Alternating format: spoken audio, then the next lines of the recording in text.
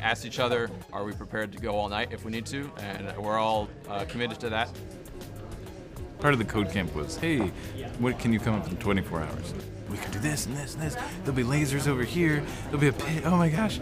And then we, you know, the, the other guys help make it more realistic as far as well. We have to show this tomorrow morning. We have a backup idea, but our main idea uh, we're calling it Conductor Hero. Uh, you'll be able to control the volume and the style and the tempo of the music. So the project we're working on is a visualization tool for math. Hopefully it'll work out and we'll have uh, something good for the demo tomorrow, but uh, we'll see how it goes. So don't want to do something that's already been done before. The SDK, the linking to images, the linking to data, the limit, linking to networking, the stuff that you can't do on an Xbox, that's what we're hoping to take advantage of and improve the use of.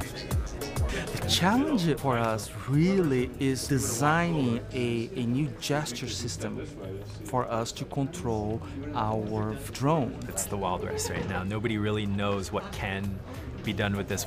We'll have to think differently, obviously, right? It's it's getting used to this idea that the computer can also see you, and and I, I just want to keep playing with it to see to see what I can come up with. I mean, things are changing. It's getting better.